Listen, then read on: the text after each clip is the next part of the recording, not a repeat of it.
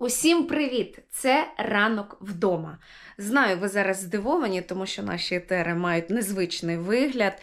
Е, Цей тиждень ми будемо виходити в онлайн форматі задля безпеки кожного члена команди. Адже ви знаєте, що з 10 жовтня територія України перебуває під постійними ракетними обстрілами. Але все ж таки це буде ранок вдома з цікавою інформацією та корисними сюжетами. Сьогодні 17 жовтня, і ми починаємо. Друзі, на календарі 17 жовтня, і саме в цей день, але в 1888 році вийшов перший примірник науково-популярного журналу National Geographic. Зараз він виходить мільйонними е, накладами, майже 40 мовами, і всі ми знаємо його візитну картку. Це суперкруті, унікальні фото е, з різних куточків світу. Але уявіть собі, перші 20 років там взагалі не було фото та картинок, суто тексти. Та й виходив, чесно кажучи, неабияк через брак матеріалу. Отже, хочете дізнатися ще багато чого цікавого? Дивіться нашу рубрику День в історії.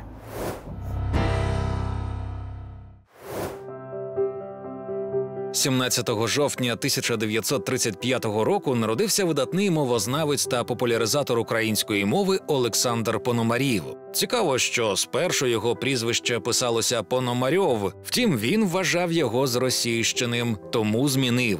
Закінчивши школу, майбутній науковець вирішив вивчати українську мову та вступити на бажаний факультет йому не вдалося. Бракувало знань української мови. Довелося йти на відділення російської філології.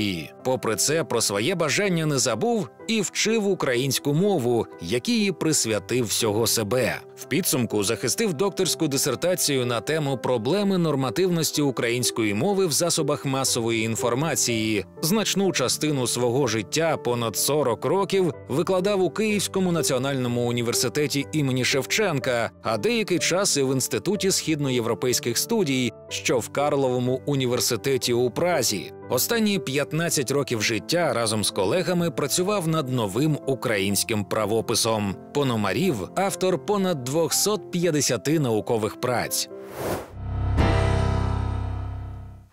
Є відчуття, що Росія ніколи не дасть нам відчути себе переможцями, тому нам треба бути постійно при зброї і давати по зубах кожному, хто напрошується в гості без запрошення, наголошував поет Іван Драч, який народився 17 жовтня 1936 року на Київщині.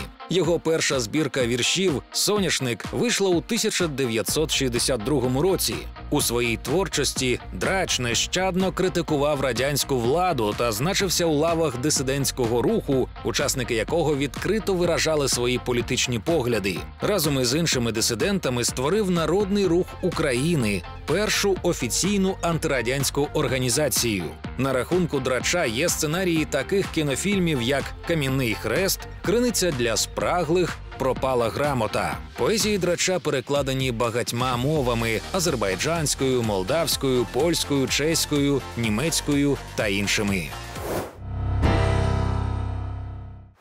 Мати Тереза, вона ж Ан'єс Гонжа Боякшу, 17 жовтня 1979 року отримала Нобелівську премію миру за діяльність у допомозі стражденній людині. Так сформулював рішення Нобелівський комітет. Народилася мати Тереза в Македонії. У підлітковому віці черниця вирішила допомагати стражденним людям. У 1931 році прийняла свою першу обітницю і вибрала собі ім'я на честь католицької святої Терези Лізьє, покровительки місіонерок. У 40 років черниця заснувала конгрегацію сестри місіонерки любові. Сьогодні ця організація налічує понад 4,5 тисячі осіб з усього світу. Жінка доглядала за хворими, роздавала медикаменти та їжу бідним, заснувала притулки та хоспіси для безпритульних дітей. За свою діяльність на благо людства мати Тереза удостоєна понад 120 нагород. Крім того, вона канонізована як свята Римо-католицької церкви.